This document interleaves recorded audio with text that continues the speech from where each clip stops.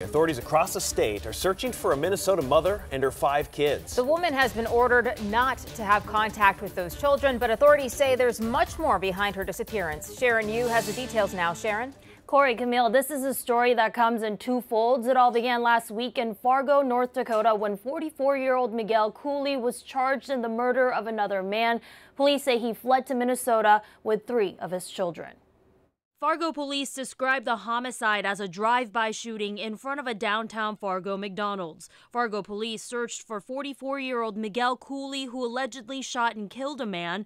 Police say Cooley then fled to Minnesota and ended up in Mower County in Rose Creek with three of his children, Mateo, Malisha, and Marissa Cooley. Over the course of the week, Clay County Child Protective Services were granted an immediate order for protective custody suspect's children. While in custody of the originating county but physically staying in Mower County, two of the children vanished yesterday evening. Mower County Sheriff's Lead Sergeant Steve Sandvik says he believes the children's mother, Izetta Cooley, traveling with another daughter of hers, picked up Mateo and Malisha in a black Suzuki SUV. The third child, Marissa, was taken to safety by Clay County officials. Ultimately, what ended up with is three of the six Cooley children had been last seen at approximately 10:30 last night at this rural Rose Creek home, leaving with their mother. Sandvik says the Cooleys have six children total and that they are now looking for the two others, 13-year-old Mojo and 17-year-old Marco Cooley.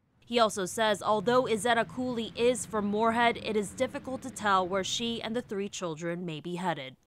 The Mower County Sheriff's Office says if you do happen to see the black Suzuki SUV, that's with the license plate number 103WJC, you should call 911 right away and say you're calling about the missing persons alert from the Minnesota Crime Alert Network. Guys? Of course, we'll make sure to continue to follow this story and have the very latest at 10 tonight. Thank you so much, Sharon.